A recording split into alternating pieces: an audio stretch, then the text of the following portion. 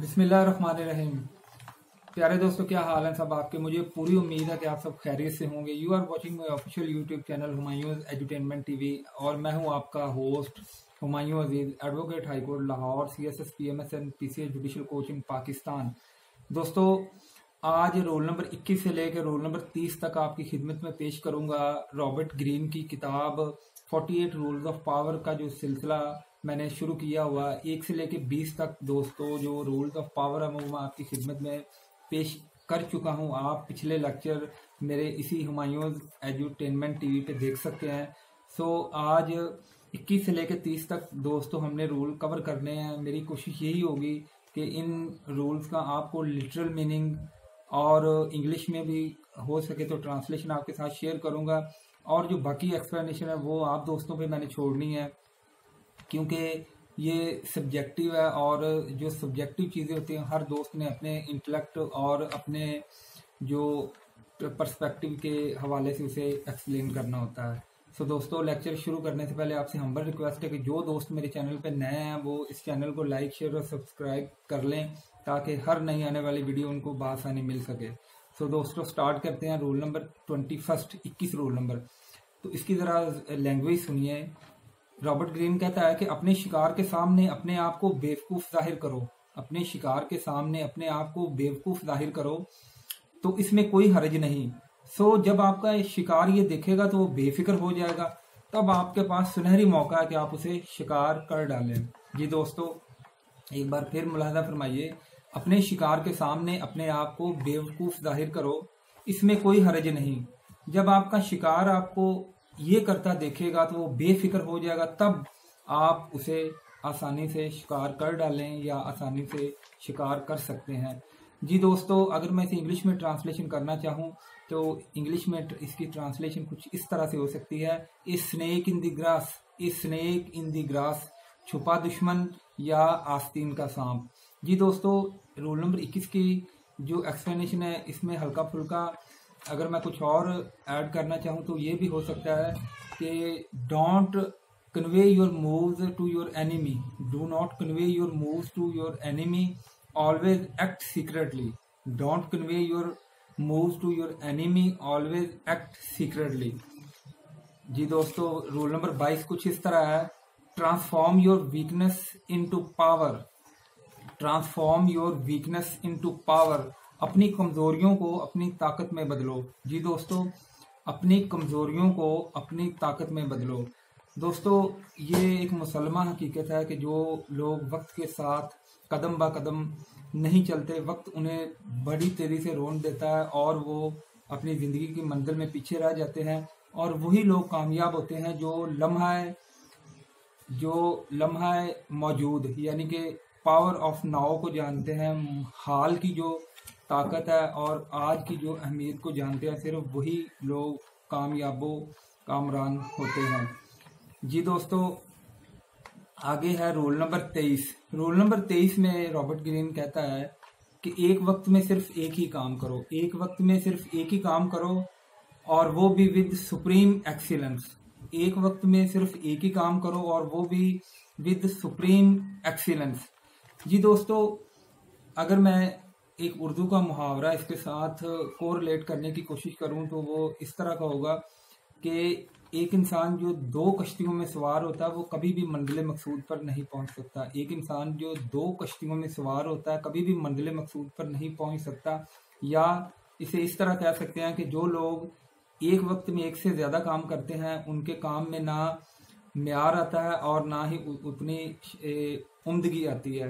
वो काम कर तो लेते हैं, लेकिन उनके काम में जो निखार है या हम कह सकते हैं परफेक्शन वो बिल्कुल नहीं आ सकती। रूल नंबर ट्वेंटी फोर है दोस्तों play the perfect courtier play the perfect courtier प्यारे दोस्तों, इसका मतलब ये है कि जैसे पुराने वक्तों में आपको पता है, बादशाह सलामत हुआ करते थे और बादशाह सलामत जो है वो एब्सोल्यूट रूलर हुआ करते थे। वही लॉ मेकर थे, वही लॉ एक्सिक्यूटर थे और वही लॉ एजुडिकेटर थे। यानी कि कानून बनाना भी उन्हीं का काम था, उस पर अमल दरामद कराना भी उन्हीं का काम था और झगड़े की सूरत में बेहतरीन या सबसे आला और अल्फ़ा जज भी वही बादशाह हुआ करता था। सो रॉबर्ट ग्रीन कहता है कि play the perfect courtier so ऐसे वक्त में जो बादशाह सलामत के खुशामदी टोला हुआ करता था, जो लोग बादशाह की हर वक्त खुशामद और हर वक्त बादशाह की जो शान और अदमत के गुन गाया करते थे, सिर्फ़ वही बादशाह के मंदूर नज़र हुआ करते थे। आप देख लीजिए, अकबर द ग्रेट के नौ रतन, फिर गयासुद्दीन तुगलक है उसके जो फेवरेट कोटियर्स हैं, फिर आप हज़रत अमीर खुसरो को देख लीजिए ये मैं आप पे छोड़ता हूँ कि वो क्या खुशामदी टोला था या नहीं था। यहाँ सिर्फ़ आपकी तोजो दिलाना है कि जो लोग बादशाह सलामत के बिल्कुल पास बैठ के बादशाह की जो अजमत और शान के गुन गाया करते थे, सिर्फ़ वही लोग बादशाह के कहर और बादशाह के गज़ब से बचे रहते थे और उन्हीं ही को जीने का हक था। लिहाजा रॉबर्ट ग्रीन इस रूल 24 में हमें ये बात कन्वे करना चाह रहा है play the perfect courier courtier अपने आप को ऐसे एक खुशामदी जो दरबारी के तौर पे पेश करो कि आप जो बादशाह के फेवरेट बन जाओ और बादशाह जो है वो आपकी जानो माल की हिफाजत करे। आगे रोल नंबर ट्वेंटी फाइव है दोस्तों। रोल नंबर ट्वेंटी फाइव सुनिएगा ज़रा। रोल नंबर ट्वेंटी फाइव में रॉबर्ट ग्रीन कहता है कि recreate yourself recreate yourself अपने आप को नए सिरे से तामीर करो। जी दोस्तों, अपने आप को नए सिरे से तामीर करो। दोस्तों, अगर मैं इसकी एग्जांपल इस तरह दूँ कि जो शाहीन या शहबाज है, वो हर तीस से पैंतीस साल की उम्र के बाद उस पर जो गुर्बत और नकाहत के आसार नमदार होना शुरू हो जाते हैं तो वो इन वक्तों में क्या करता है? क्या वो अपने आप को हार मान के, वो अपने आप को मौत के स्पुर्द कर देता है या वो मेहनत करके अपने सारे जो उसके पर है, बाल हैं, वो उखाड़ के अपनी चोंच तोड़ के, नई चोंच चालीस दिन इंतज़ार करके, नई पर और नई चोंच आने का इंतज़ार करता है। जी हाँ वो सेकंड ऑप्शन को चुनता है, वो अपने पर काटता है, अपनी चोंच तोड़ता है और मेहनत करता है और फिर इस तकलीफ़ के अमल से गुजर के अगले चालीस साल तक के लिए वो अपने आप को ज़िंदगी और फिजाओं में घूमने फिरने और अपने आप को बादशाह कहलाने का वो सही हकदार ठहरता है। सो so, दोस्तों इसमें रॉबर्ट ग्रीन ये कहता है कि रिक्रिएट योर सेल्फ कभी भी अपने आप को ये मत समझो कि आप बड़े परफेक्ट हो क्योंकि कहा जाता है satisfaction is the death of knowledge यूँ ही आपने अपने आप को मुकम्मल जानना शुरू कर दिया उसी वक्त आपकी बर्बादी उसी वक्त आपके जो तनजली है उसका जो आगाज़ शुरू हो जाएगा। जी दोस्तों रूल नंबर 26 में रॉबर्ट ग्रीन क्या कहता है? Always keep your hands clean always keep your hands clean हमेशा अपने हाथ साफ़ रखें। जी दोस्तों, ये भी बड़ा अजीबो गरीब और ट्रिकी किस्म का एक रूल है। जैसा कि मैंने इंट्रो में पहले ही आपको कह दिया था कि इन जो 48 रूल्स ऑफ़ पावर है, इनका अखलाकियात से कोई ताल्लुक नहीं। इनका सिर्फ़ एक चीज़ से ताल्लुक है कि आपकी ताकत किस तरह बढ़े अगर लोगों का कोई मुफाद, लोगों की अखलाकियात या लोगों की जिंदगियाँ दाव पे लगती हैं तो लोग जाएँ बाढ़ में। आपका जो पावर है, आपका जो इकदार है, उसे तूल मिलना चाहिए। और always keep your hands clean अपने हाथ साफ़ रखिए और अपने हाथों को गंदा मत होने दीजिए। इसका एक और भी मतलब दोस्तों, हम ये ले सकते हैं कि जो लोग दूसरों के ज़रिए काम करते हैं या बैक फुट पे जाके काम करते हैं, लोगों को आगे फ्रंट फुट के फेक खुलवाते हैं, वो लोग हमेशा ताकत इंजॉय करते हैं। इसकी एग्जांपल जो है, पाकिस्तान में भी क्या बैक फुट और फ्रंट फुट के जो खिलाड़ी मौजूद नहीं है जी हाँ आपको इशारा समझ तो आ गया होगा, पाकिस्तान में जितने भी जो बड़े बड़े करप्ट लोग हैं, इन्होंने कभी भी जो करप्ट और नंबर टू ट्रांजेक्शन हैं, ये कभी भी अपने डायरेक्ट अपने हाथ से नहीं करते, बल्कि इन्होंने थर्ड मैन या किसी और बंदे को आगे लगाया हुआ होता है। सो दोस्तों, ये था literal meaning always keep your hands clean अब चलते हैं रूल नंबर ट्वेंटी सेवन की तरफ़। रूल नंबर ट्वेंटी सेवन में रॉबर्ट ग्रीन कहता है play on people's need to believe to create to a cult like following दोबारा सुनिए। Play on people's need to believe to create a cult like following जी दोस्तों, Robert green इसमें कहता है कि अपने आप को इतना ताकतवर और इस कदर मुकम्मल ज़ाहिर करो कि लोगों के जहनों में आप ऐसे समाज हो जैसे आप एक देवता हो। आप में गलती की कोई गुंजाइश है ही नहीं। लोग आपको फॉलो करते हैं और लोग आपको ऐसे मानते हैं जैसे आप देवता हो।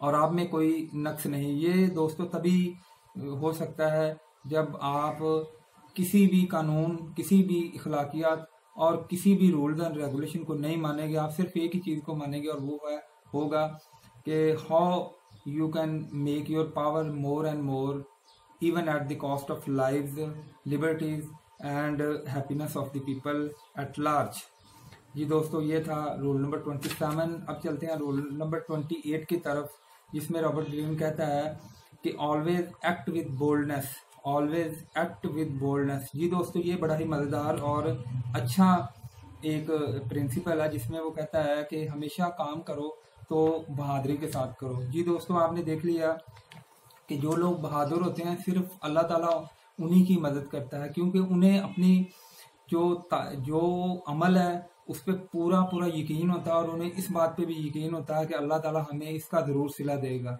क्योंकि मेहनत करना बंदे का काम है और मेहनत को मानना या ना मानना, मेहनत को कामयाबी में बदलना या नाकामी में बदलना, ये आप लोगों का काम नहीं, ये अल्लाह ताला का काम है। सो आपका काम सिर्फ़ यही है कि फुल कन्विक्शन और फुल डिवोशन के साथ एक काम को कीजिए और and leave the results to Allah almighty the all seer the all knower जी दोस्तों, अगला रूल है ट्वेंटी नाइन इसमें रॉबर्ट ग्रीन कहता है plan all the way plan all the way to the end plan all the way to the end जी दोस्तों, इसमें Robert green कहता है कि जब भी आपको काम करने लगे तो आपको जो उसका अंजाम है वो आप जहन में रखिए। जब भी आपको काम करें तो उसका जो अंजाम है वो आप जहन में रखिए। ऐसा नहीं होना चाहिए कि आपको काम शुरू कर दे तो आपको उसके अंजाम का ही पता ना हो। इसकी एग्जांपल मैं ऐसे देता हूँ कि जो दोस्त C S S P M S की तैयारी करना शुरू कर देते हैं और दिन रात मेहनत करके पेपरों में भी चले जाते हैं। तो उन्हें पता होता है कि उन्हें कौन सी सीट मिलने जा रही है। वो अगर ज़्यादा मेहनत करते हैं तो उन्हें कौन सी ग्रुप मिल रहे हैं? अगर कम करते हैं तो कौन से ग्रुप मिल रहे हैं? और अगर अल्लाह करे उनकी एलोकेशन हो जाती है तो फिर वो किस किस्म के महकमा जात में जाके अपने मुल्क, अपने लोगों और अपने इर्दो गिर्द गिरदोनवा के जो हालात हैं उनको किस तरह उन नेगेटिविटी से दूर करके पॉजिटिविटी में बदल सकते हैं। सो दोस्तों, इंसान को हर वक्त अपने जो भी वो काम कर रहा है, उसको अंजाम का बखूबी इल्म होना चाहिए।